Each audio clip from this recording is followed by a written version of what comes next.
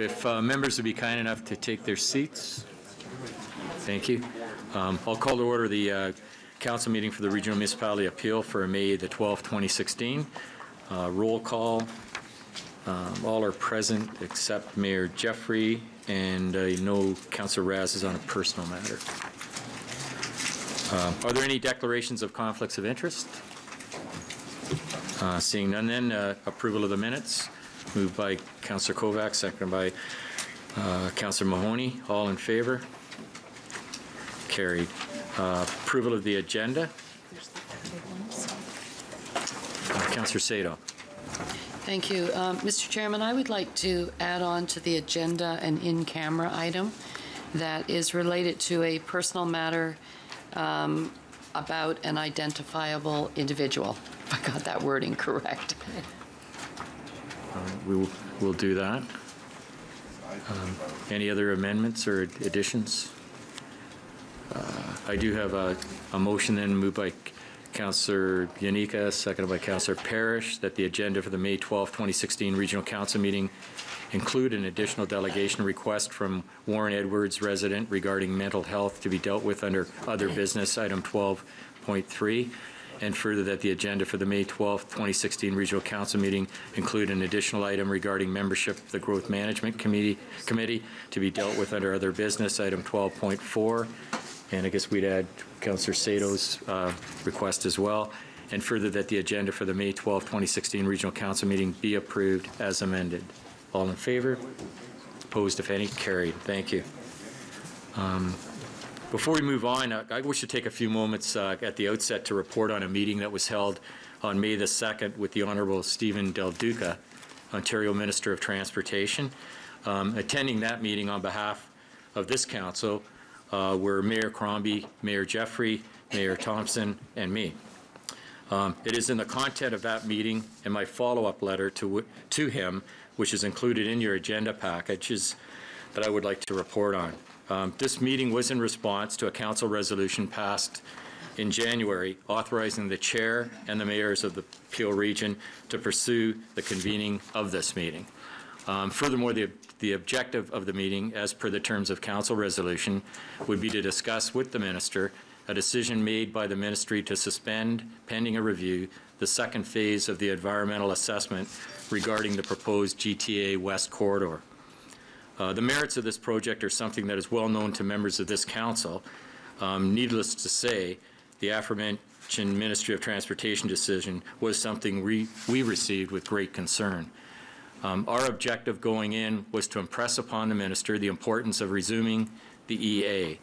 Um, At the time of the decision to suspe- suspend last December, the minister indicated that any subsequent decisions regarding a resumption of the EA would occur in the spring. However, his most recent comments on the issue appeared to signal a delay in his deliberations. Um, I witnessed the minister reaffirm this perspective Tuesday when he responded to a media question posed to him at the provincial land use announcement in Port Credit.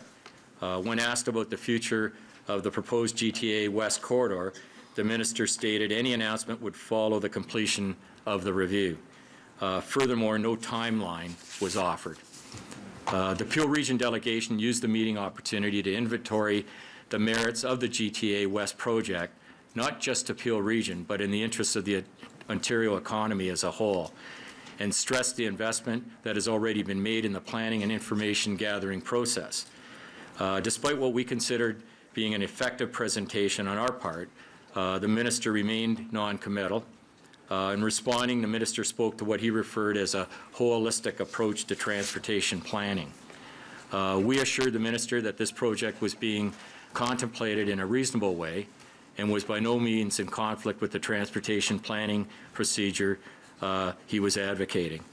Uh, Following the meeting, I felt it would be helpful to send the minister a thank you letter and use the opportunity to reiterate some of the points we made in the meeting, and more importantly, further emphasize that what we are advocating by no means conflicts with responsible, inclusive, and fact-based transportation and development planning.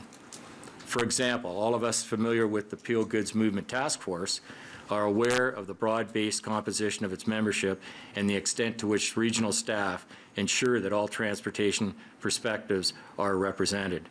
Uh, In my capacity as a participant in the external meetings of the task force, I recently had a further opportunity to experience this constructive exchange of ideas and perspective firsthand. Uh, I would just say that uh, before we conclude on this topic, uh, perhaps the mayors may have something to add. If not, okay. Uh, Mayor Thompson. I have to proudly say that uh, Chair Dale, you did a terrific job that day. And uh, thank you for following up with the letter, and your letter with what you articulated, I think, uh, is addressed with the issues. And uh, all we can do is uh, keep driving what you've put in that letter forward as we go forward. I can understand part of his reasoning why he wants to wait till fall, but I think there's a lot of other things more than just planning that has to deal with it. We're talking about economics as well, and I think you addressed that quite well in Toronto. My letter's reference says 9.6, and maybe we could just bring that forward now if you I'll can gladly move it. move receipt of that. Second by Counselor Starr. All in favor then? Carried. Thank you very much. Um, That moves us into items related to human services. Uh, If Councillor Miles would kindly chair this section. Oh, you know what? There's nothing. Yeah. That was really easy for you. Okay. Thank- Thanks for all your support and help with that. Um, yeah. Items related to enterprise programs and services. You don't get off as easy, Counselor Fonseca, so. Thank We'll you, to you. Mr. Chair. Um, Items related to enterprise programs and services. Uh, Item 7.1 is a tax capping policy selection of options, and in the recommendation, the region is recommending that we continue the application of all optional tools, including the new enhancements as a fair means of moving properties in the property classes toward full current value assessment tax levels. That's in the bullets and the report highlights. Seeing no comments on the board, moved by Mayor Thompson, seconded by Mayor Jeffrey. All in favor? Any opposed? Carried. Item 7.2 is a proposed transfer of permanent easements. This is for um, wards- Ward 9 in the city of Brampton. No questions, moved by Counselor Sprovieri, seconded by Counselor Palleschi. All in favor? Any opposed? Carried. Item 7.3 is the recommendation of, this is for a, um, an automated vehicle locator and telematics platform to be awarded to Furno Ace Tech Canada and the estimated amount of 850,000 in accordance with the purchasing bylaw. Seeing no questions, moved by Counselor Starr, seconded by Counselor Moore. All in favor? Any opposed? Carried. Item 7.4 is the report of the Lobby Registry Registry and Integrity Commissioner. Seeing no questions, moved by uh, Counselor Mahoney, seconded by Councillor Palleschi. All in favor? Any opposed? Carried. Uh, Item 7.5 is the minutes, the report of the Region of Peel Accessibility Advisory Committee, moved by Councillor Groves, seconded by Councillor Mahoney. All in favor? Any opposed? Carried. Item 7.6 is the report of the Governance Review Task Force. Seeing no questions, moved by Mayor Crombie, seconded by Mayor Thompson. All in favor? Any opposed? Carried. Um, Item 7.7, this is an added item. It's um, an update on the uh, Region of Peel's uh, participation in drafting of Ontario Culture Strategy. Seeing no questions, moved by Counselor McFadden, seconded by Counselor Medeiros. All in favor? Any opposed? Carried. And another added item, item 7.8, is correspondence from MPP Sylvia Jones, and this is with regards to making sure that we are aware that the nominations for the Ontario Senior Achievement Award are now open. Moved by Counselor Tovey, seconded by Counselor Starr. All in favor? Any opposed? Carried. And I believe that's back to you, Mr. Sheriff. Well done. That was quick. Items related to Public Works, uh, Counselor Starr, if you chair this section, please. Get that in my Oh, no. head. Oh. Actually, uh, Counselor, say, is that in relation to? Yeah, Oh. okay, we can go back to that. Yes. Sorry, if I could just ask a question. The report from the, uh, the governance task force is not from the most recent meeting, correct? It was an earlier meeting. There was a meeting on April 28th. Why would those minutes not be on here? It is from the 28th. Okay, maybe I'm looking at the wrong page, because my, mine says the, mine's from the one before. Yeah. So mine's not from the 28th. It's the March. The ones that are in my, my agenda are from March.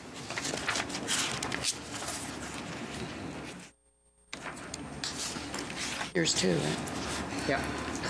It's March 31st minutes. So there's addition, additional minutes or a report that should be attached from the last meeting? Yeah, I I'll, don't I'll have that double addition. check and, and uh, recirculate, but it is from the, the actual report is the presentation from the facilitator from the 28th. Okay, th- what I have is the report from March 31st, his presentation, and the minutes from March 31st that says the next meeting will be April 28th, but I have nothing for, on the April 28th in, in my agenda. I'll look in and recirculate then. Okay, thank you. Thank you. Thanks for bringing that to our attention. Um, Counselor Starr, then, with Public Works. Okay, the first item, 8.1, and we have a presentation by staff.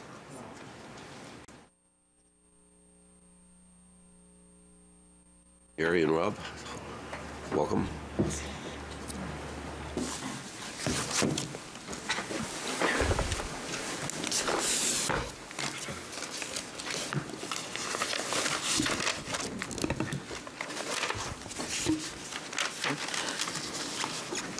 Good, uh, good morning, Chair Dale, members of council.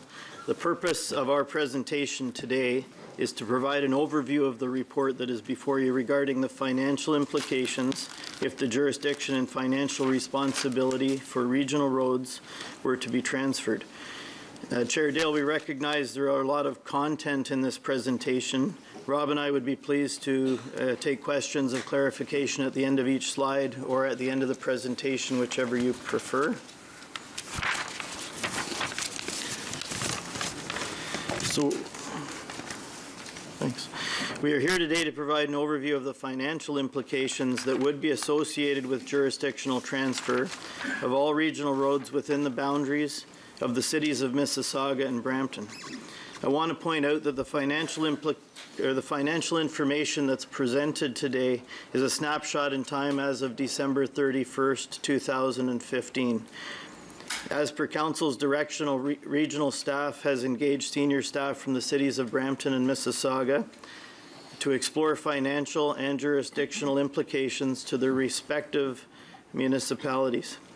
For completeness, the analysis includes impacts to the town of Caledon as well, and regional staff have had conversations with Caledon's staff regarding this matter.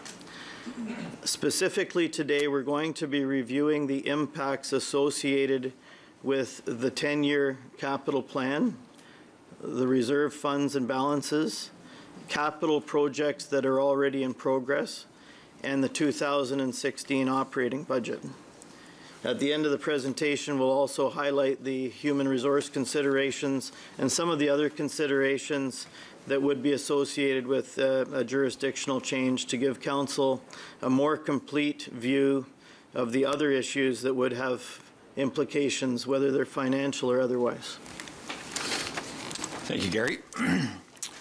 The region's 10-year roads-related capital plan, which spans from 2016 to 2025, is $1.2 billion. Uh, As you can see in the chart to the left, the 10-year capital requirements for the city of Brampton is at $877 million, or 72% of the 10-year capital plan, while the capital investments in Caledon amount to 180 million, or 15%, and Mississauga makes up the remaining 156 million, or 13%. On the right of the slide, you will see the funding sources for the 10-year capital plan. As you will notice, the majority of the region's 10-year capital is funded from development charges, which is 746 million, or 61% of the total. This amount is expected to be recovered from development between now and 2031. 87% of the development charges resides for work completed in the city of Brampton. 8% for the city of Mississauga, while the town of Caledon makes up the remaining 5%.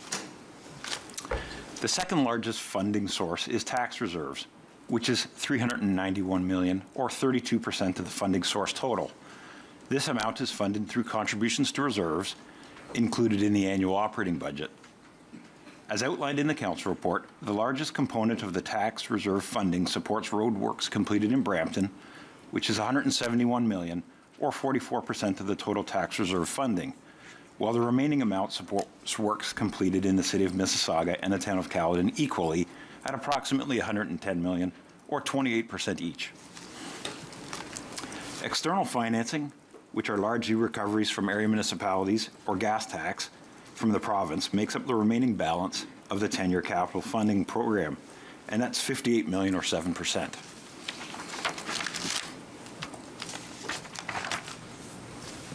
Next, I will address the four reserves that support the road program.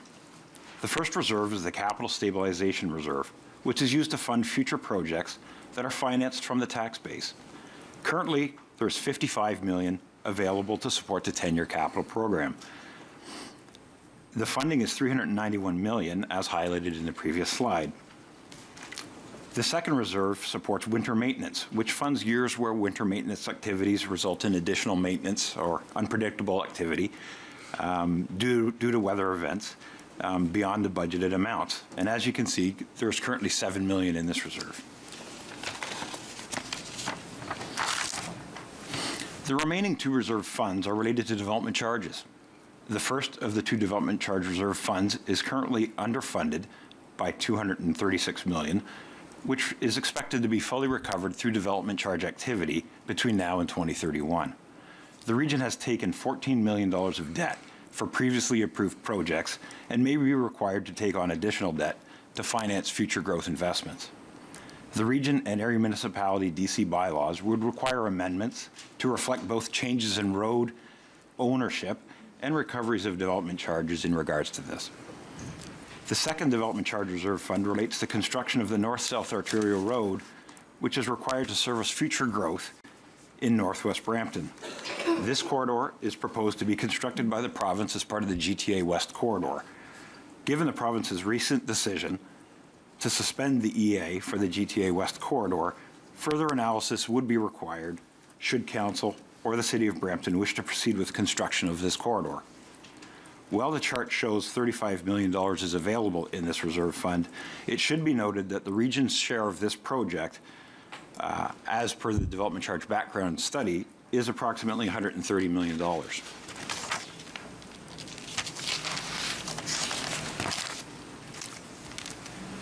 So I've just completed a review of the 10-year capital program and how that is funded, and now I'd like to provide some insights on the capital projects that are currently in process.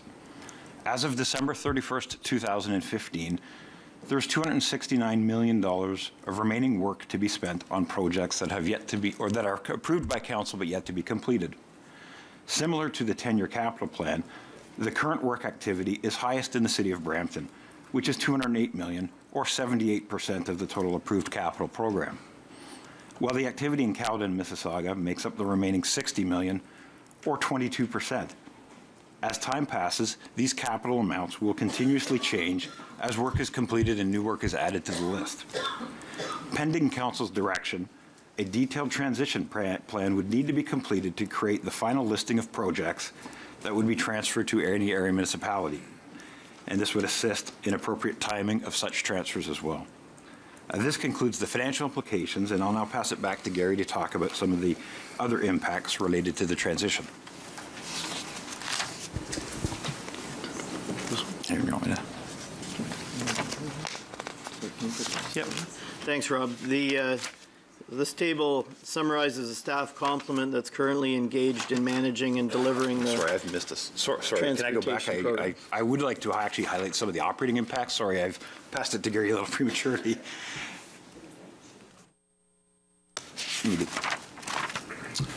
So in this chart, uh, you will see an estimate of the $64 million in the annual operating budget for the roads program, and that's split down by area municipality, along with a comparison of how the budget is funded from the tax levy. For clarity, the operating budget is comprised of two key categories. The first category is the roads program expenditures of 33 million, or just over half of the 64 million annual operating budget. There are expenditures to support the roads program, such as seasonal maintenance, traffic signals, streetlights, and also the infrastructure planning and design teams themselves. The second category in the operating budget is contributions to reserves, and this is 31 million, or just under half of the operating budget. As we touched on earlier, this helps fund the 10-year capital program from the tax base. Now I will pass it to Gary. My apologies.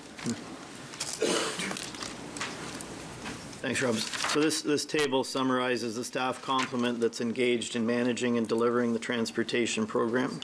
From a human resource perspective, there's 182 staff that support the roads program. 56 of those are unionized, 126 are non-unionized. Uh, We've provided a high-level breakdown of the activities that the direct and indirect staff are engaged in. For clarity, direct staff are those that exist within the transportation division, both the union and non-union staff. And the indirect staff are in support roles in other divisions or departments within Peel. The number of indirect staff was calculated based on historic activities supporting the division's functions. Pending council direction, there would be need to more fully understand the human resource impacts associated with any uh, transitional options, as well as associated costs. And there are a number of other finance, sort of non-financial implications, but they do have financial components to them. The, uh, one of them is the collective agreements with the unionized employees, both in Peel and within the local municipalities, and the recognition that those agreements would have to be respected. In our discussions with the municipal staff, there were questions about space accommodation at yards for both uh, people and equipment. And there are many contracts in place for both operational activities and capital work that would be impacted, and those contractual implications would have to be assessed in more detail. And finally, in, in terms of the capital program, as, as Rob mentioned, given the nature of the work, there would be need to consider sort of how and at what stages it would be appropriate to transition work and to reflect in a coordinated fashion with the local municipalities through the development charges bylaw updates.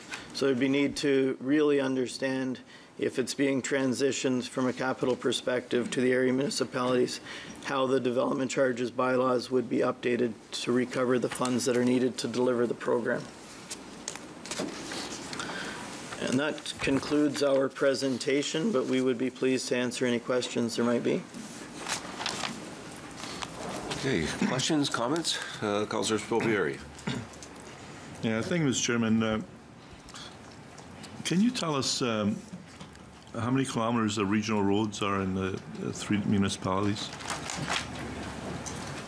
On aggregate, there's approximately 1,600 lane kilometers. You know, in each municipality, do you have a breakdown? of I don't have a breakdown with me. no. How many, you don't have a breakdown? eh? It's, it's roughly split a third, a third, a third. It's fairly well balanced. Oh, so it is fairly balanced. So Brampton has as many, many kilometers as Mississauga and Caledon, you say? Uh, Through you, Mr. Chair, yes, the, the number of lane kilometers is roughly balanced between the three. So, uh, so then why is there a difference in the uh, budget, uh, how much is spent in Mississauga, Brampton, and Caledon? Uh, You showed 19.7 million in Mississauga, 26.4 million in Brampton, and 18.1 in Caledon, uh, is what you're uh, spending uh, in the various municipalities. Why is, is there such a uh, difference between the Mississauga and Brampton?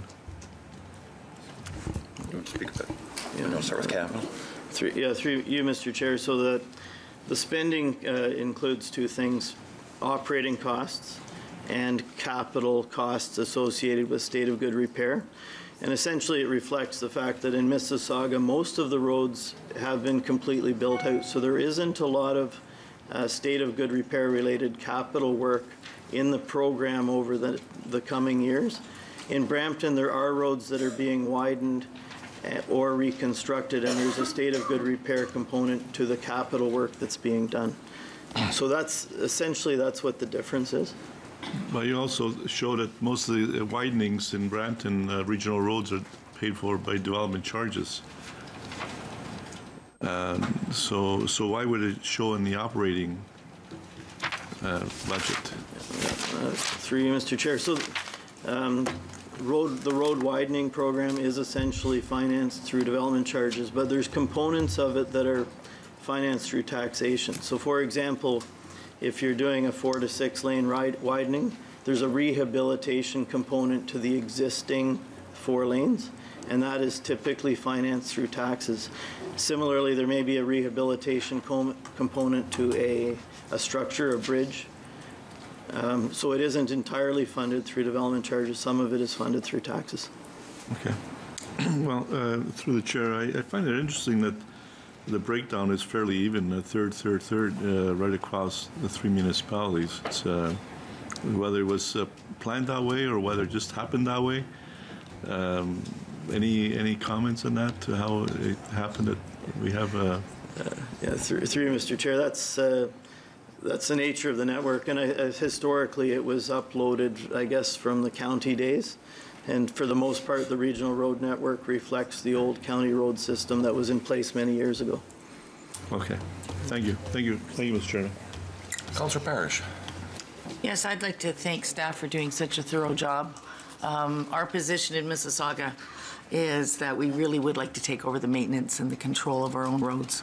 Um, So I have a motion here today prepared by our staff, and I think Councillor Carlson's going to speak to it because he had a meeting with them, which I was unable to attend. But uh, the clerk has a copy. We can put it up on the screen. Please don't construe this as we're taking our roads and going home. This is not a separation move. This is seriously something we've wanted to do for a long time. It's economical, it's good for our staff, it's good for us to be able to just maintain our roads and take care of them without having to account to anybody. So if this is not a backdoor move of leaving the region, that'll, that'll happen right in your face someday, but um, that's not what we're doing. Or not. Counselor Carlson.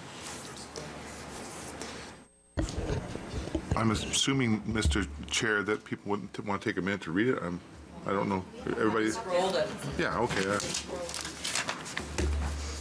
But Sorry about that, uh, skipping to you Yeah, prematurely that's there. I'm not sure what happened.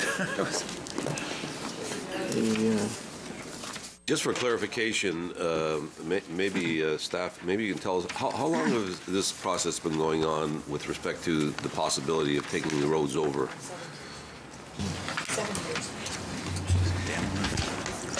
The most, uh, through you, Mr. Chair, the most recent process has been going on since, I believe, 2006. Um, The the ARAS process that recommended the ultimate option 4A for uploading and downloading commenced in about 2009. So it's it's been going on for quite some time. Thank you. Uh, Counselor Carlson, you, uh, do you want to, I'm next on the list, Mr. Chairman. yeah, I- I just know that he flipped off, so you're no, okay? I- That was actually. I can speak to, I can speak to it now. I just accidentally, I didn't want to leave my mic on, so Yeah, sure, sure. while people were talking. Yeah, sure, speak, To, yeah.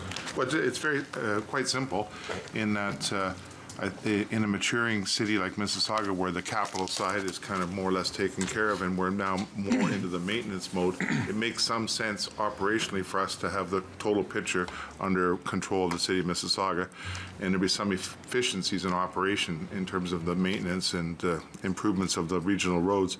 Uh, It's not really clear in this uh, motion, at least I don't think it is, that uh, we'd still continue to pay the regional share of all the, all the other municipalities. It's basically, we look after our own. Uh, side of things, and we'll still be a participant. We're not taking the regional money away from the other municipalities, which I think was always kind of the, the the concern with, uh, with the rest of council and the rest of the, both the other municipalities. So it's here as a notice of motion, I assume, so I don't, I'm, through you, Mr. Chair, I don't suppose we could settle it all today. No, What says notice of motion on it, right? It says draft, anyway. It But does it- say notice of, ours. Yeah, so, it- I mean, your hands is whether if everyone thinks they have enough uh, information today, but that's clearly the position of Mississauga that going forward, we'd like to maintain control of our own roads. And as explained to us by our senior staff, uh, there's some internal efficiency that, as we all know, there's a lot of back and forth and to and fro and consulting between the region and the city.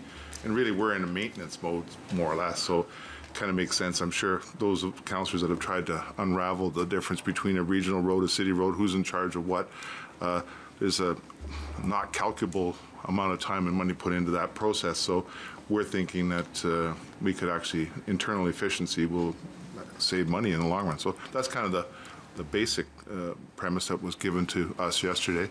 And uh, I'm sure there'll be time to, step. we'll need to report back and some assurances about staffing and so on, that sort of thing. We don't want to put anybody out of a job, or that sort of stuff. So I'll leave it at that for now. Looking at that list of speakers, I better uh, cede the, uh, the- the podium. Thanks very much, Mr. Chair. Mr. Chairman, on a point of order.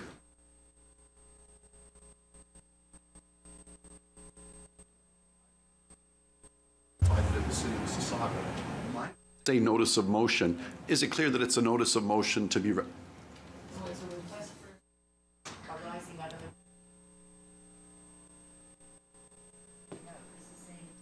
asking the two staffs to Okay. one side and come back and give us a report. okay, So I think we will support the okay. I, I just so, we're- thank you. I think for clarification for uh, the rest of council and staff, I think the last line explains exactly, I think, what the intent is, is to engage the city uh, staff to develop a implementa- implementation plan, basically, and I guess get all the information. Is that what the intent? Actually, Councillor Starr, if I could just clarify to Councillor Iannicca's point, uh, procedurally, th- th- it's not a notice of motion. It is a motion pertaining to this item. Yeah. Thank you. Okay, before we go any further with all of the legal stuff, why don't we listen to everybody? Uh, Councillor Medeiros. No, I'm next. Oh, I'm sorry, Councillor Sprovieri. Yeah, you forget about your neighbor, right? yeah, thank you, Mr. Chairman. And um, um, well, um, it's an interesting uh, proposition for sure. Uh, although I, the first reaction I got is how generous Ms. Saga is. Um, but then I also been reading in a paper that uh, Saga is uh, considering breaking up because uh, is putting more into the pool, uh, regional pool. And this, if uh, this goes through, uh, it's only going to make it even more. Um, uh, it's going to create. It's going to amplify the the issue even more. There's going to be even more uh, uh, Mississauga money going into the regional pool, which you don't really receive a, a benefit from. And so that's kind of contradictory to um, to me. It sounds like it's very contradictory to why Mississauga would want to take over regional roads when it's going to increase the cost to to maintain these roads, and it's going to, and Mississauga is still going to be required to put uh, keep uh, putting more money into the pool uh, to look after Brampton's and Caledon's regional roads. So there's kind of a contradiction there, and uh, from the way I read it, but. You know, if Mississauga wants to be that generous, and uh, I, I'm, it's okay with me. I don't have a problem with that. But uh, I just hope that you don't come back later and say, well, you know, we did the math, and now look at all the money we're putting into the uh, pool, and we're not getting the benefits. So I, I think this is where we're headed for, and uh, so certainly, I, you know, if I were a Mississauga counselor, I'd be, uh, unless there was a way that um, you had a, a reassurance from the province that you were that they're going to be uh, open to uh, the breakup of the region, then fine. But you know, uh, until that happens, I think this is very contrary to uh, what Mississauga has been after all these years. So uh, those are my comments, Mr. Chairman. Thank you.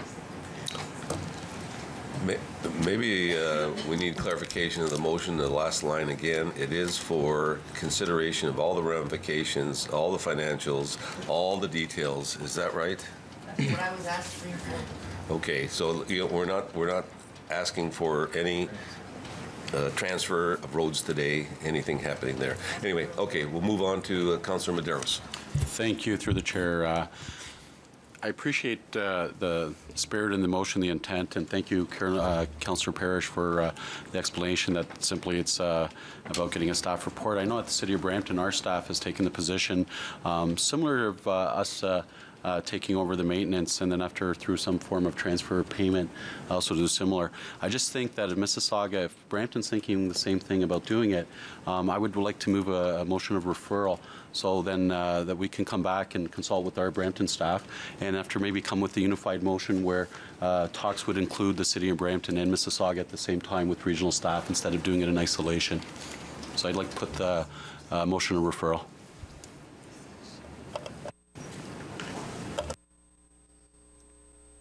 What takes precedent? Referral. Do you mean def- deferral, Councillor Medeiros? Re- Referring it to, Deferral is not. to Mrs., to Ref- Brampton staff? Or defer it to give your staff an opportunity? So defer it to give some more staff opportunity. Uh, Then people can't speak to it. Okay. You want to hold that motion in defer? No, so we'll we hold speak- it for a referral then. Please refer it back to staff, Okay. to the municipalities. I appreciate the lesson. Okay, Councillor Shaughnessy. Thank you very much, uh, Mr. Chair. Um, I look at this and I, I I truly think that uh, our staff here outlined a couple of necessary steps prior to us moving forward.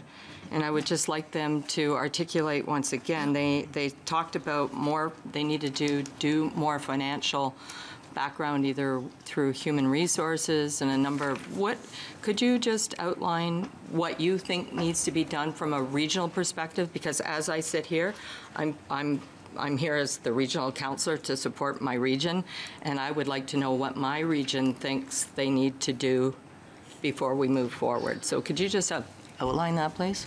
Surely, through you, Mr. Chair, the, uh, I mean, quite, quite simply, the report before you presents the financial information, a snapshot in time as of December 31st of last year. So it presents what um, the financial, sort of the impacts associated with the operating budget, the capital budget, and the capital work in progress. It doesn't get into any details in terms of space accommodation, so it doesn't get into, is there, you know, yards uh, able to accommodate the additional staff and equipment? Is, um, what are the nuances of the collective agreements associated with transferring bodies, uh, you know, especially for the unionized employees? And, and how do we handle things like uh, aligning the development charges background studies if you're actually moving capital projects from, you know, the authority or responsibility of one municipality to another? So there's a lot of details, and I think the motion speaks to it. There's a lot of things that would have to be discussed and analyzed and come back with a specific um, approach or sort of detailed work plan in, in terms of how this would be addressed. You know, it's, it's probably not quite as, as simple as just uh, transferring it. There's a lot of work that has to go into figuring out the details in terms of how you would do it. You mentioned a snapshot in time. If we'd gone back 10, 15, 20 years, uh, would the balance be different? So you're saying, I'm assuming you just looked at this past year and moving forward for that 10-year period, what would have happened the 10 years back? So, so we didn't look at other snapshots in time over a period, uh, but as we mentioned, you know, every week, um, things change. As capital projects are completed or added to the program, it's a constant evolution of uh, where money's being invested uh, across the region, and it's, it's going to constantly change. As I, as I think we did mention, a lot of the, the infrastructure in Mississauga has, has been built. The attention of the growth-related capital program for the next little while is largely in Brampton. So Just because that's where the nature of development is, Thank excuse you. me. So the, uh, what came down from the province just recently on the four-plan review and uh, the announcements the other day, would that have an effect on, uh, on the future, both in all municipalities? Do you think this, this will have a great effect to how we hand, how we handle this? Through you, Mr. Chair, that's, that's just coming out. I think that is something that's going to take some time to analyze and digest, but it's certainly impactful in terms of the way we grow. Okay, Di- um, just one more question. Did we need this motion here to get the region to do this work? Um, I I- I worry when I see a motion that's like this long. If it was just a motion to investigate uh, what else is important to the region in moving forward, it could be done in a paragraph, and when I see something this long, I get a little antsy. So did we actually need this long, complicated Through the chair, I think the challenge, so, so for the last motion that was passed, we've had a couple meetings with staff from Brampton and Mississauga. Good productive meetings, but I think the challenge, the fundamental challenge is understanding exactly what is being asked. There's all kinds of, you know, different combinations or approaches that could be used for um, disentanglement. And for uh, teams on either side, uh, either the local folks or regional folks, to move this forward, there needs to be clarity in terms of what the direction council wants so that we can actually focus our energies on um, identifying a work plan that responds to that direction. But when it's fairly open, um, it does it does take a lot of energy, and there's so many options that are out there. So what the additional direction is helpful in terms of focusing the conversations going forward. What would be even more helpful, we need to understand what the timelines um, council may be looking for in terms of response or making changes, so that again, we can all work towards those um, timelines and respond back accordingly. Oh, well, that's enough for me. There's a number of people on the board, and I'll let others ask questions. Thank you very much. Okay, thank you. Uh, Councillor Groves. Thank you, Mr. Chair. Um, uh, Just for clarification, are we speaking to the referral or are we speaking to this motion? Well, we- we heard the reports, so we're speaking to basically everything. There's a referral, so the referral would, It's been held. oh, we're holding, okay. Um, Well, I don't have anything to say with respect to the motion. I wanted to speak to the referral. So I guess I will get off the board and come back on. Uh, How, how do you want me to go? Okay, I'm going to Speak speak. Speak to the Okay. referral. All right, in speaking to the referral, I do support the referral, happy to second the referral because I think we all, I think it needs to go back through all three municipalities because we do need to know the impacts that it will have on, on each municipality. So, um, and, and, and in with, with respect to the question that Councillor Shaughnessy asked, I think that that's a pretty important question because we do have a roads review program or we have something going on currently, Gary, and you can correct me if I'm wrong. It's- Is that correct? Yeah. So through you, Mr. Chair, there was what was referred to as ARASC, the Arterial Road Rationalization Study that was done, uh, completed a few years ago, and we've been working through council direction to implement that. So there has been an upload of Coleraine Drive in Caledon and Brampton. There has been discussions about sidewalks and multi-use paths and different things. So um, we've been going down that path, and this would be a, you know, definitely a deviation from the previous direction of council. Right, and thank you. And that's why I think I support that referral because I think we need to sort of carry on through that path as, as the direction from council because this is sort of contradictory to, to that committee. So I will second that referral. Mayor Jeffrey. Well, I appreciate Councillor Parrish's calming um, preamble, Um, but I read the words, ultimately supporting the transfer of jurisdictional financial responsibility, and that's kind of what stands out to me. This is um, a very complex issue, and I remember going to the workshop, and um, although there were many issues that we shared in common, we have a lot of differences in where we are as, as communities. And I appreciate that it's um, it's maintenance for Mississauga, it isn't for Brampton. And we've been part of the region for a long time, investing into this institution and into this region because that was part of our responsibility. And now, as, as we are in a high growth uh, period of Brampton's future, and, and as things are changing around us, whether it's provincial decisions or otherwise, um, this has a huge financial impact on Brampton and certainly the region. So I'm unprepared to support it today. I'm not sure I will in the future unless I have more information.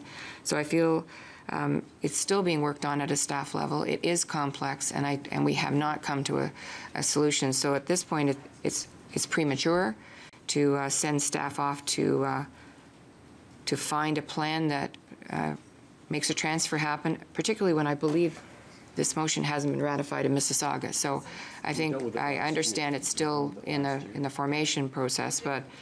If, if at the end of the day they're still not at that table, I think it's premature, and I'm happy to support a referral.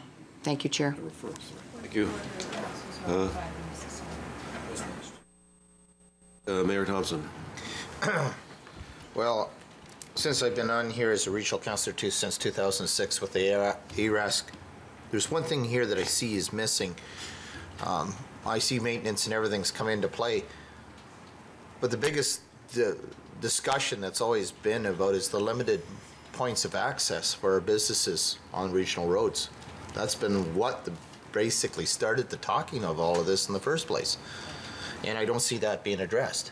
And that's a real issue. You're right, uh, uh, Councillor Saito, it, it is planning, but I think that needs to be added in. I, I'll support the referral, but I think that is something that needs to be discussed because that's been the big, this is what initiated this all in the first place. So how about we uh, address that as well? Thank you. Thank you. Uh, Councillor Parrish. Well, under old lessons relearned, when I was a brand-new counselor, I came up here, and I think my second meeting, Hazel wandered over here with a motion in her hand and gave it to me, and she said, would you move this? I said, sure. And I moved it. I didn't understand it, I didn't know anything about it, nobody had prepared me for it. I was going to be prepared for this, and I had a dog that was barfing all over my house, so I missed the meeting. Second lesson relearned is if you miss the meeting, you hand the motion to Councillor Carlson, who went to that meeting, and you let him stick handle it. My third impression, just so everybody knows what I'm thinking, is I am fairly convinced, and I don't think I'll be disagreed with by our staff, that we want to continue the obligation of paving your roads in Brampton. You paved ours, we'll pave yours. I think what we're looking for, or what our staff is looking for, is complete control over maintenance and transfer of payments back to Mississauga just for the maintenance portion of it. That's my understanding of it, but I could be totally wrong. So I would be happy to have this referred. I would be happy to have the staff explain to me why I got into this pickle. And I would be happy to have George Carlson try to get me out of it, because he's the smartest guy on the face of the earth. But I'm supporting you, Martyn. And screw it. Well, with that, this is a historic day. Councillor Parrish is happy.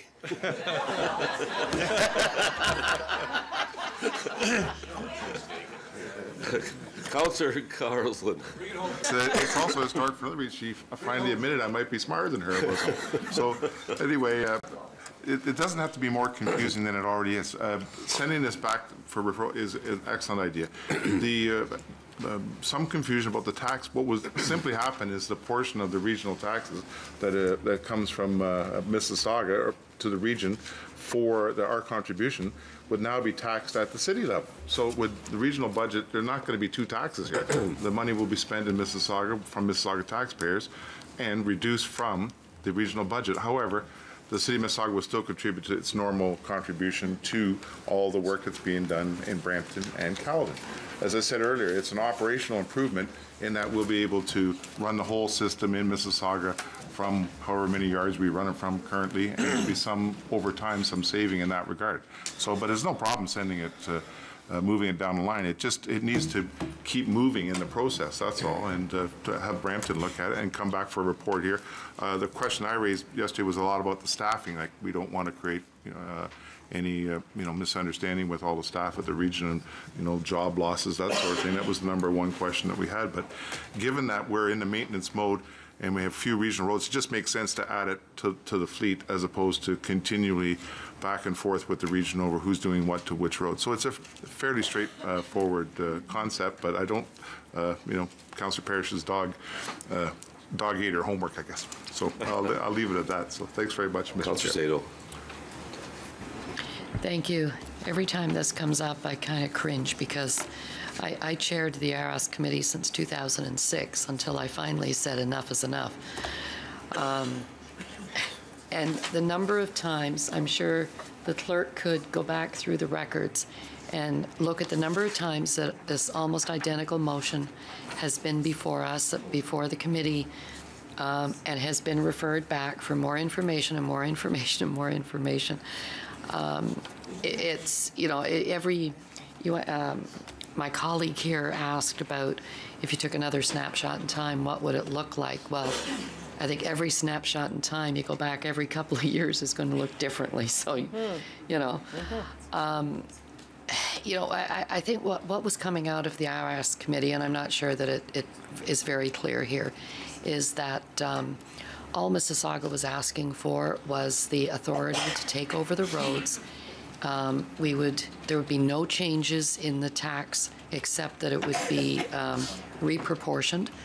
And the same as we're doing with the traffic signal operation, where um, we're still paying, it's still coming out of regional taxes, but our staff would be uh, doing the work and making the decisions on the roads. And over the years, Brampton has said that they wanted the same thing.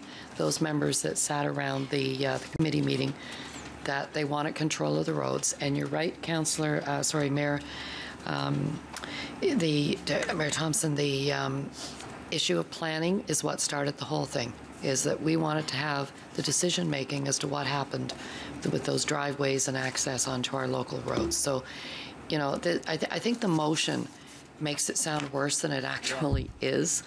So I, I fully support the referral because I think it has to come back um, laying it out clearly. Every time we sent staff, we had a, we had a, t- a staff task force on ARASC, and every time we sent them away, they would come back, and Brampton and Mississauga together had one opinion, and regional staff had another opinion. And we never see, every time they went away, it was, you know, Dan, you, you, you've been involved in that for all these years.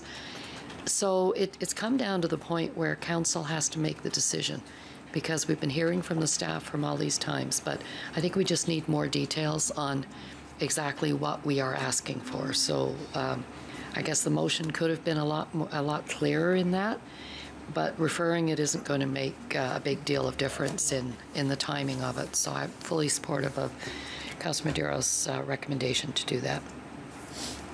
Maybe we could hear from uh, Dan? No, thank you, Mr. Chair. Um, Actually, Gary's uh, done a great job. I think the only thing we would uh, ask, uh, going back circulating before, you know, coming back to us, is putting the rigor of timelines into this motion. Uh, The only reason we're meeting with you today is three months ago, Councillor Parrish said, I want the report in three months. And that timeline forced the rigor and discipline to bring this back forward. Without a timeline, we will be having this conversation, I suspect, in the next term of council.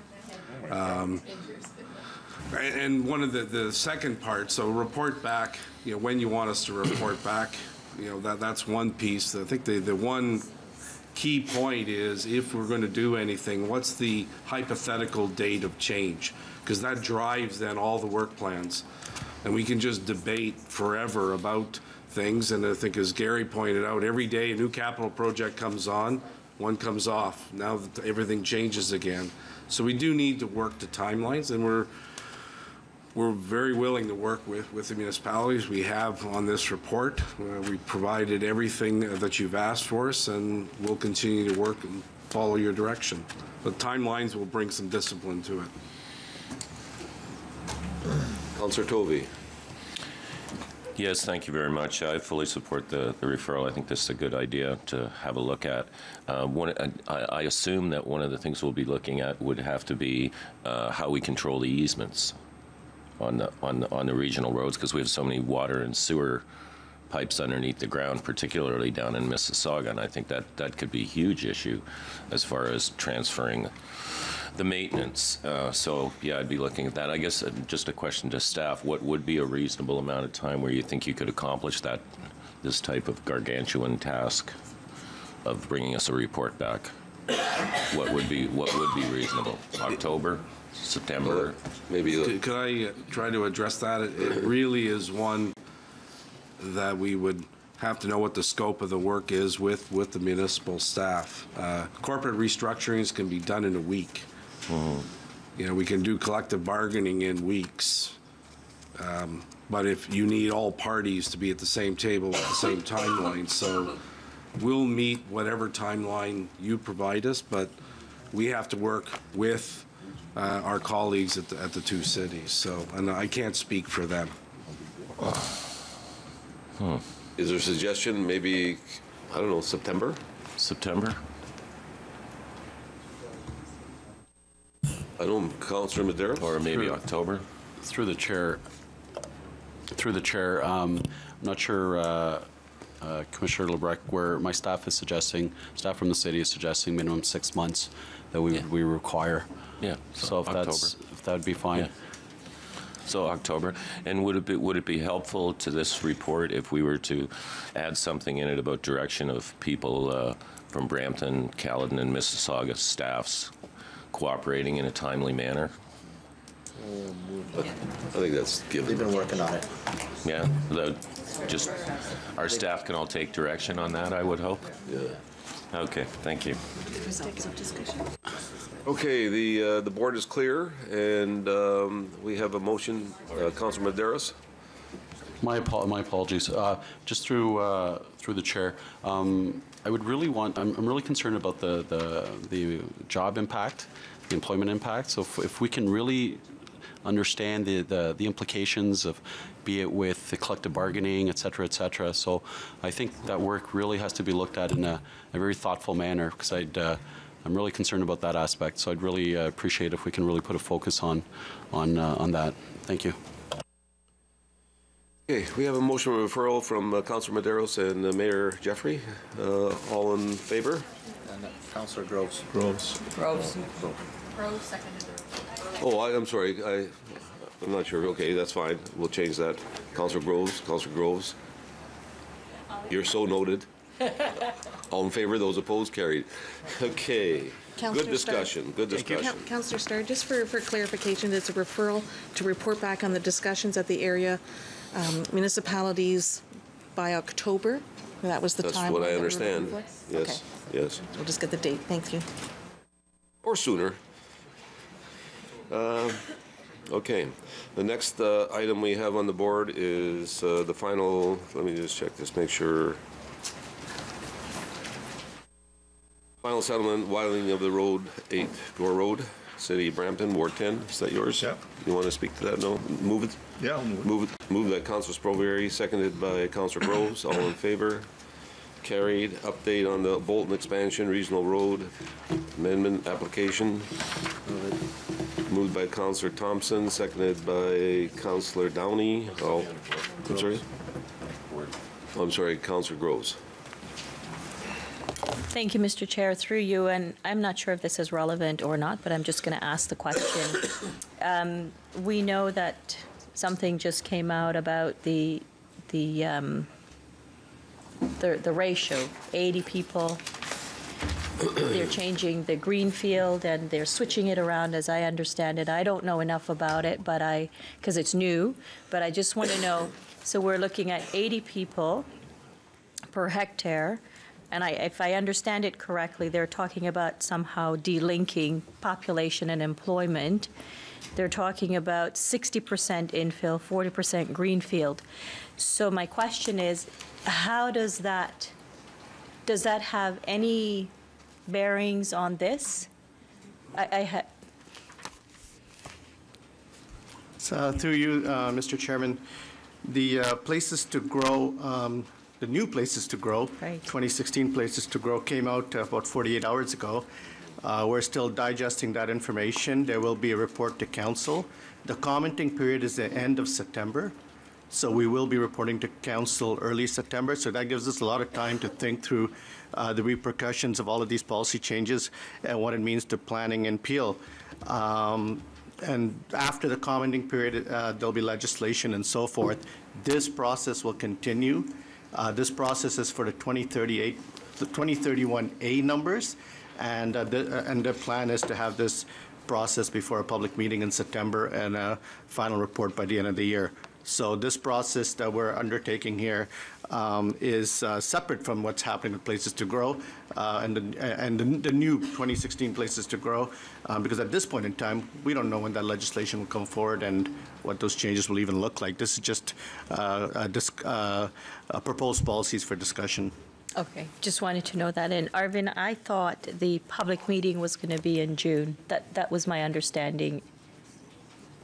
Uh, We are working, uh, through you, Mr. Chairman, uh, to Councillor Groves, we are working as per the timelines that are part of the facilitation, which was to prepare a draft regional official plan amendment in June, and we will bring that to you, and at that point, we need your authorization to hold a public meeting. We hope you'll also authorize us to do a a public open house, so we can get some good input. And uh, that, so, you know, you don't want to schedule that over the summer months. Right. So we will do that in early September. September. Okay, thank you. Okay, we'll uh, have it moved by Councillor Groves, seconded by Councillor Downey. All in favor? Carried. Lakeview Waterfront Connection, Ward 1. Move it. Moved by Councillor Tovey, seconded by Councillor Mahoney. All in favor? Carried. Uh, 8.5, Engineering Services for Lorne Park Water Treatment Plant, Ward 2. Ras is not here. Not here. Moved by Councillor Iannicca, seconded by Councillor Kovac. All in favor? Carried. And the report of the Waste Management Strategic Advisory Committee. Any questions, comments? Moved by Councillor Groves, seconded by Councillor Miles. All in favor? Carried. We have uh, one, two, three, five pieces of correspondence, uh, all from the deputy clerk. Do we want to move them all at once? Yeah, also move it.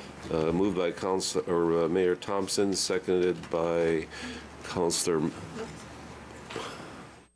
Johnson. See, I was looking over there and looking at your hand. Okay, you're, you're, you're going to be third on the list. Okay, all in favor? All five pieces of correspondence? Carried. Back to you, Mr. Chair. Um, Thank you very much. Uh, I believe everybody's in receipt of the, the governance task review report. And my understanding from that meeting is that this will go back to the municipalities for review. I, I believe that actually um, Peter is making a presentation or has to the city of Brampton, but tonight, I believe, yeah. And uh, the other two municipalities, this will go back for consideration and review by those, by your local municipality. Um, Items related to uh, health. Um, Counselor Moore, if you chair this section, please.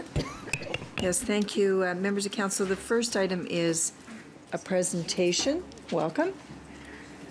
It's on opi- opioid use in the Peel context.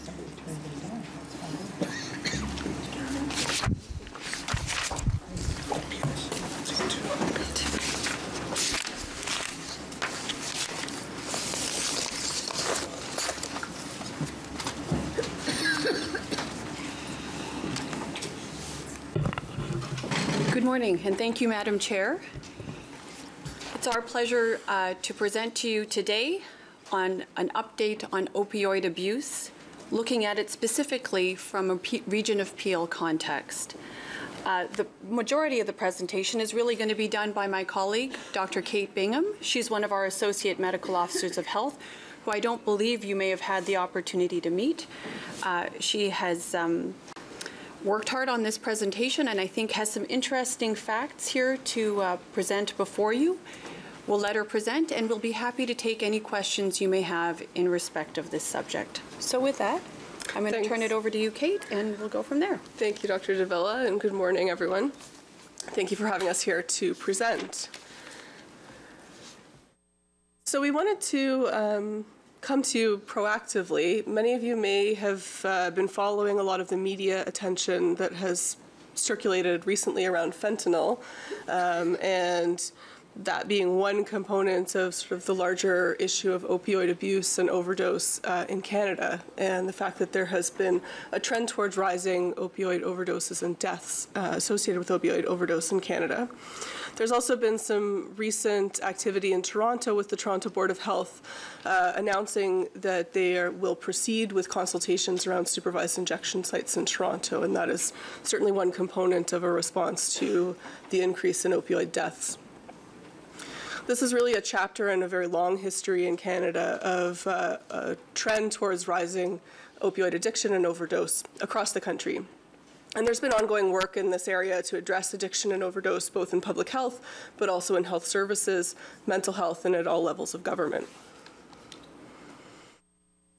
What we can tell you is that there's been a steady increase in prescriptions for opioids over the last 20 years, and that this issue is one of both prescription addiction and abuse, uh, as well as illicit drugs that are in the opioid family, so drugs like, like heroin. And because, primarily because of the prescription trends, Canada is actually now the world's second largest consumer per capita of opioid uh, prescription drugs. And with this trend has been a parallel increase in opioid associated deaths, primarily due to accidental or unintentional overdose. What's striking about this is that many of these deaths like many other drug-related deaths, involve younger adults, and this results in many potential years of life lost from very productive or potentially productive members of our society.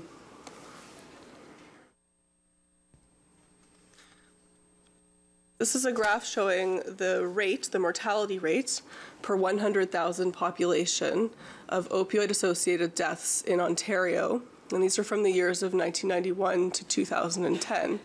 And you can see a pretty obvious rising trend uh, across those two decades. And this really parallels the increase in uh, the number of opioid prescriptions that have been written um, across those years. You might, you might want to note that these data, they don't necessarily reflect a difference between uh, accidental and intentional overdoses. So these are from the Office of the Chief Coroner for Ontario. We do know that uh, for the for most populations, and Ontario included, the vast majority of these deaths are unintentional or, or undetermined. So at the time of the coroner's investigation, it wasn't clear whether it was an intentional overdose or not. So somewhere in the neighborhood of 80% of overdoses are felt to be unintentional or undetermined. Giving it a little bit more local context, this is a graph showing opioid toxicity deaths in Peel, Toronto, and Ontario. So on the left-hand side uh, in the axis there is the deaths per 100,000 population. And across the bottom are the years 2010 through 2014. So the most, the five most recent years of data that we could get from the Office of the Chief Coroner. The dashed line at the bottom is the rate for Peel. So it's only five years, so the numbers bounce around a little bit, and the, the numbers are, uh, the absolute numbers are reasonably low, although certainly concerning. Um, and above that, the dashed line are the numbers for Toronto, and then at the top there is the overall rate for Ontario. To give you a little bit more context, since the number of deaths per 100,000 population is a bit of a uh, not a very useful concept, I think, for many people, although it, it has to account for the fact that population changes over time, which is why we give you a rate. But the range here is uh, between 20, a low of 20 deaths per year, to a high of 48 deaths per year, which you can see was the most recent year that we have complete data for, which is 2014. The 2015 data haven't been finalized. The Office of the Chief Coroner, the investigations take quite a long time, so the, the sort of final reports for these data do take some time to process. But the, the 2014 numbers unfortunately support this general increase in trend that you see. And the numbers of overall, of overall deaths have gone up and there, if you look deeper into the data as to how what drugs those have been related to, there certainly is a sense that fentanyl has been, been playing an increasing role in those deaths. I do want to go back, actually, if I can drive back there, um, to give you a, a, little bit of further context. So we did ask for the, the 2014 data for a bit of comparison for motor vehicle collision deaths in Peel. Um, and so remembering that the opioid-associated deaths were 48 deaths in 2014. Motor vehicle collisions, both pedestrian and car deaths, were actually only 44 deaths in 2014. So while we, we have tended in the past to think of that as being a leading cause of illness and injury and death for young young adults, young people in our population, uh, this is actually starting to overtake that, um, both as a response to, uh, both as a result of improved motor vehicle safety and road safety, but also because this is an increasing um, issue. So there's a number of ways to think about how we might address opioid abuse, and we've chosen a, a relatively simple framework here just to orient you to the lay of the land, really, um, and chosen to look at it through a lens uh, from our standpoint around prevention, treatment, and harm reduction as three important components. In the realm of prevention, there's starting at the beginning with respect to physician training and professional education, teaching physicians about appropriate and responsible opioid prescribing and how to monitor those patients who are taking opioids for uh, very legitimate reasons of pain management and how to help them use them for the time that they are needed and then hopefully transition to other medications or other therapies as appropriate. Supporting that are regulations and resources. So some of you may be aware that the prescribing re requirements for opioids have changed, um, requiring individuals to prevent, present identification in order to get a prescription medication filled for an opioid. Um, and that with that, the province has been able to start tracking those controlled substances and follow trends over time. There's also resources to support physicians and pharmacists in order to manage these drugs more responsibly. There have been changes and there are opportunities for changes to manufacturing processes. You may recall that the drug OxyContin was pulled from the market in 2012 because of how easy it was to abuse that formulation and it was replaced with a more difficult um, formulation to, uh, to inject or to alter. There's an important role for law enforcement and Canadian Border Services agents in terms of preventing the import of illicit drugs that are produced internationally and brought into the country. Many, much of the media attention recently has been around that component of the issue, um, as well as local law enforcement in terms of preventing the trafficking side of this. There's education at all levels, education of health professionals, education of the public, education of youth and students, um, and education of parents. And then there's the supporting mental health and wellness component that is really a large component of this. We know that uh, addiction overlaps heavily with the, our mental health and wellness, and there needs to be a strong support um, and cooperation in that realm. While we like to look upstream, there's also an important component of treatment. So those who are struggling with opioid abuse um, and addiction need access to effective and accessible treatment services and mental health supports. And then there's the component of harm reduction. So harm reduction is a philosophical approach that aims to reduce any of the negative consequences of using drugs, recognizing that not, not everyone will be able or willing to stop using drugs altogether. And so it tries to minimize those harms associated with it. Specific with opioids, there's uh, the issue of injecting opioids. So some of these drugs, many of them can be injected.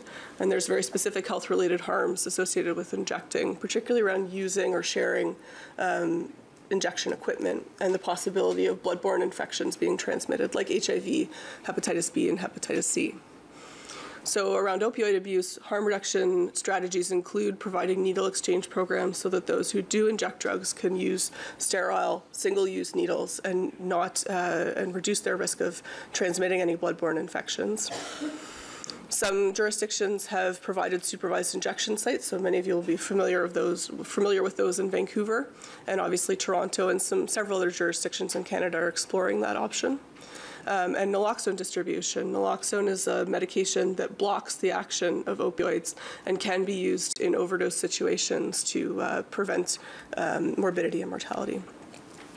And then along with that is a parallel program of outreach and education. So there's specific interventions provided and then connecting individuals uh, who are using harm reduction services to treatment if they're interested, other healthcare and social services uh, that can help to mitigate some of the harms associated with using drugs.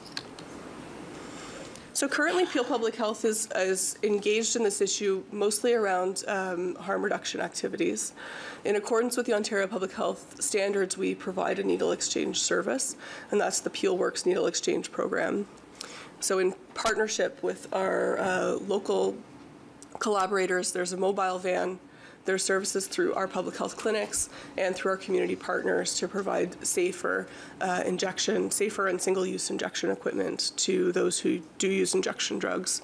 Along with that, we do provide referrals and uh, en- engage our clients to connect them with other social and health services as needed, um, and provide education around what we've become aware of and what, what they often have become aware of in terms of specific dangers of new drugs that have come into uh, the realm of use, um, trying to help people engage in safer injection practices um, or, uh, or change their drug use altogether to try to mitigate some of the harms. And along with this is the, there's a local network of information exchange with our local and provincial partners. So some of the next steps that we're planning to be involved in are to try to improve our understanding of local patterns of use. The ways in which and the patterns in which people use drugs are different in each jurisdiction. Um, and while we learn from each other, it's important to understand how it's unique to your own local situation in order to best provide for um, local, local citizens. We'd like to formalize our ability to have some improved local surveillance, and there's certainly work going on at the provincial and national level around opioid both use and overdose surveillance, how we can get better data about what drugs people are using and, uh, and how those drugs are impacting them. And then to enhance and hopefully formalize uh, some additional community partnerships um, and connect to broader opioid strategies with other jurisdictions and within the province and nationally. We'd be happy to, uh, to take questions as well as to come back at some point to update you on, on how we've made progress in these areas. Thank you very much, Dr. Bingham. You did a great job. A couple of questions. Councillor Groves. Thank you, Madam Chair. Thank you for the presentation. Um, On 10.1-7, with respect to outreach, I would, may I suggest that a good way of um, reaching some of this and getting some feedback on what you're looking for in terms of how many people are using this type of drug and that reaching out to the the family physicians.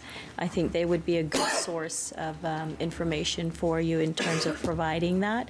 Um, I know that we have a clinic in, in, in Bolton, uh, Addictions and Mental Health Clinic. You might want to reach out to, to those folks as well, to the doctors there. And I know there are several throughout the Peel region. They would have a lot of that information because, of course, they're treating a lot of these patients who have those types of addictions to what the drugs that you're talking about. So I just put that as a suggestion. Thank you. Absolutely. You're welcome. Yes, and if I can speak to that um, through you, Madam Chair, um, clearly the notion of enhancing community partnerships would absolutely include uh, healthcare providers, whether in primary care or in more specialized areas such as addictions and mental health. So um, I do see that as part of our strategy, Okay. including not only the surveillance component, understanding who the users are, but also in respect of the solutions, how we might actually, you know, facilitate access to um, the various services that Dr. Bingham spoke to um, in her presentation. Okay, thank you. Thank you. Councillor Starr. Yeah, just, um, just to go back to the chart there at 10.1.5, where I think you mentioned uh, the average in two- 2014 was, uh, on the death part of it, was 4.8. It's 48 individuals. In Peel region. In Peel region. So the actual number of individuals who died of an opioid-associated overdose was 48 people in, in So would that be under the average for the province? In terms of a rate, so per, in the population, it is under the average for the province, yes. You don't actually see the counts on the, the, the graph is showing the rate. I just provide the count to give some more meaningful context. Okay, so, so, yeah, so what I did, just, if I looked at 4.8 or, or say 5, 5 times 1.3, that'd be uh, 65. uh, That could be attributed to Peel, but that's not what it is, as an average. The, in terms of the number i- who were, who overdosed in the province as a whole in 2014, I'm afraid I don't have that total number for you, but we could certainly get it for you. Yeah, it just appears that from the chart, we're under that. We are under the, Yeah, the okay, provincial average, that's- yes. Thank you. Mayor Jeffrey. Um, Thank you, Chair. I, I, this is a um, stark presentation, and I think the, the pieces, and this is very uh, clinical kind of presentation for us, but I think of the families that are struggling with this, and I, I guess my, my hope is that it doesn't stay clinical and that we find a way to reach out to a lot of families and parents that don't know how to help family members that are struggling with this or don't realize they have the addiction. I think that most addicts don't realize that it is a problem. And, and so I, my ask is, can we find a way to help parents know what to look for or something practical that way? Because I think there aren't that many family physicians that are equipped to have that conversation, so sometimes it has to come to the region. And I think the other thing, I wonder if you're uh, having conversations with pharmacists. I find my pharmacist is actually better than my family doctor in many cases, so I think that they would be a huge uh, group that, that is untapped and could be very, very helpful in helping us move forward on the strategy. Thank you. If I can respond a little bit to that, Madam Chair, uh, I I agree with you wholeheartedly. This is not meant to be solely a clinical issue. Uh, And if you think about the kinds of activities that we would be proposing um, to collaborate with partners on, um, we're talking about four major pillars, some of which are extremely clinical, such as treatment, some of which are more um, enforcement-based or police-based. There are enforcement activities that are clearly part of this as well. But I would argue that for us at Peel Public Health, the more important parts are those that are related to prevention, which clearly has a non-clinical aspect to it, and it does talk and speak largely to having parents, families, communities empowered to be able to have those early conversations so as to pres- uh, prevent. Um, and harm reduction clearly has a, there is a clinical component to it, but there's also a, a non-clinical, much more holistic approach to it. And sorry, Kate, did you have something I you wanted wanted- to add? Through the chair, I wanted to add that the, I didn't speak to it in the presentation, obviously we had very limited time today, um, but there are some resources. So one thing is that the, the recently revamped health education within the schools certainly does address drugs in general um, and education for students in particular around the risks of opioids and the risks of prescription drug use when you're using a prescription drug that is not prescribed for you. And that is one interesting facet of this issue that isn't necessarily the same for many of the other illicit drugs that we deal with um, in terms of, of trying to make an impact on drugs of abuse. A large component of this issue has been has come up around the use and misuse of prescription drugs, and I think one that came from a, a place of good intentions that has gone a bit awry, where at least at the time that I trained medically, there was a sense that uh, for a long time physicians had been under-treating pain and that physicians weren't taking pain and chronic pain in particular seriously, that they weren't treating it effectively. Um, and the paradigm at the time was that opioid drugs, when used to treat pain in a responsible way, prescribed for that purpose and monitored, had a very low risk of dependency, addiction, and abuse. And I think unfortunately what we found is that that has not been the case. Um, and that at least that component of the issue has uh, become one in which there's a scramble to try to swing the pendulum the other way um, and try to change that paradigm a little bit. And that starts, as I said, with, with some of the physician education, but obviously the public side too, um, and patients understanding the risks and having those real discussions with their physicians, being very informed. Um, the last thing I wanted to add is that there there are some resources, and we certainly could do do better to promote them. Um, around supporting parents and having these conversations with their chil- with their children, um, some of which are available on our Peel Public Health website, and we can circulate that to uh, counselors if they're interested in having that link directly. Thank you. Councillor Tovey. Yes, thank you very much. Uh, Sorry I had to step out for a minute, but uh, this is a topic that interests me considerably. I have two methadone clinics in my ward. The first one opened up in my ward. We didn't know what to do. Um, We actually now have a licensing regime in place for methadone clinics. The second one that opened up was really interesting. He opened up because the person who built who built the first one in my ward was a former employee of his, and he'd stolen some of his clients.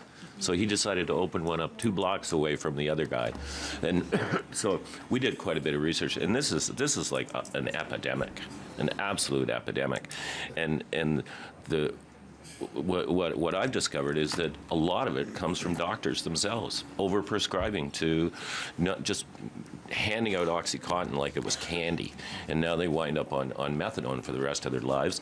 Then they go into this methadone treatment clinic where it, literally their business is to sell methadone. Um, do- a regular doctor can't prescribe methadone. It has to be done at this methadone clinic, which is absolutely ludicrous. So these guys have set up this, they, they literally have this great industry going. One guy owns over 20 clinics, and they're just making money hand over fist. When a doctor would probably be the best, your family doctor would probably be, be the best person to, to be administering that for you. So I guess part of that, so part of, you know, what you're saying, the prevention piece should, should be advocacy. And uh, I mean, I don't see any reason that these methadone clinics should even exist because really all they're doing is, prom- in a sense, is promoting drugs. And so many of the people that I see walking through those doors, they're not, you know, junkies off the street. They're housewives. They're construction workers that used to have ba- chronic bad backs. And, and they've just got addicted to mostly to OxyContin and OxyContin type o- opiates just, just literally through, through, through the medical system. So, how do we, what's our advocacy position to, to the provincial government to try and get some legislation changed on this? Because I know in Peterborough, they had such a terrible, they had such a terrible experience in Peterborough because the doctors were getting free cruises if they hit a certain sales level of OxyContin. And if they hit that sales level, then they'd get a free cruise. They were taking these free cruises. They finally found out about it. They cut the whole thing off. And within six months, they had a heroin problem. Housewives were going down into alleys to buy heroin because they needed to get their fix. So, what, what, what are we doing about the advocacy piece from, from, a, go- from a government point of view? Because that's a lot of that is just pure legislation. Respond. You want to start with Go ahead. Well, I think Councillor Tovey, through you, Madam Chair. Councillor Tovey, I think your, your um, comment and question all rolled into one highlights how very complex this particular situation is. Uh, And um, I think we have to be realistic about what we can do here as your local public health unit, which isn't to say that we're not active in uh, trying to make changes. Uh, There are groups uh, amongst the um, medical officers of health and the associate medical officers of health who are actually quite active in this arena um, urging the provincial government to uh, rethink some of its actions in respect of this uh, very important issue. Um, we are plugged into those networks and we are actively working with those who are seeking to solve this problem from the multiple prongs that are actually required. Everything from the way um, from the manufacturer side of things, um, you did miss, I'm not sure if you saw that component of Dr. Bingham's presentation, where prevention activities are everything from physician training to how the drugs are manufactured, how they're regulated. There's a whole gamut of activities. Um, to the extent that we're able to uh, bring our voice to that table, or the many tables that are there, we do that. Um, we do recognize that we are one local public health voice one local public health unit voice. So we, we um, recognize that we have only so much clout, but we also know that when we put the collective voice together, we are actually starting to gain some resonance. There is some activity happening at the provincial level. Um, I don't know yet. I think it may be too early to say at this stage of the game how quickly it's progressing and how effectively it's progressing, but we are continuing to put the pressure on. Mhm. Well, I think just as a suggestion, possibly for the future, if you could consider some, if you're, if you do happen to see some legislation, like you know, the, I think the methadone clinic's a, a pretty good example. Um, then potentially, maybe what you might want to do is put together a motion for us so that we can we can advocate for this through the government relation committee. Because so far, I mean, in five years, I haven't seen any of that, and I, I think that you know we're we want to help you. So uh, if you could think of anything like that, uh, that we could take to our provincial and federal partners and just start to make them aware of the issues, uh, I personally, I'd really appreciate that. Thank you, Councillor Tovey. That uh, we will definitely take up that offer if that's the will of council. And we'd be very happy as we start to work more formally with our community partners on this issue to come back to council to let you know what kind of progress we've made and what sorts of uh, issues or agenda items we would uh, benefit from, you know, having your advocacy on, whether it's to the provincial or the federal government or to any other party. Thank you. Okay. Thank you. Thank you. Um, If someone would like to move the chair be heard. I will. You- Will you? Thank you. You're so kind. Um, Just as a, another party to perhaps consult with is the benefit providers. Um, Not just the pharmacists and the doctors, but there, there may be some data that could be mined uh, through the benefit providers as well. Um, The, the presentation today kind of, um, I'm going to take some liberty. Uh, I've had a concern brought to my office recently around the proper disposal of used needles. And, um, you know, we send, tend to characterize the use of, of, um, of the needles, you know, as, as folks who, whether they're addicted to, uh, addiction.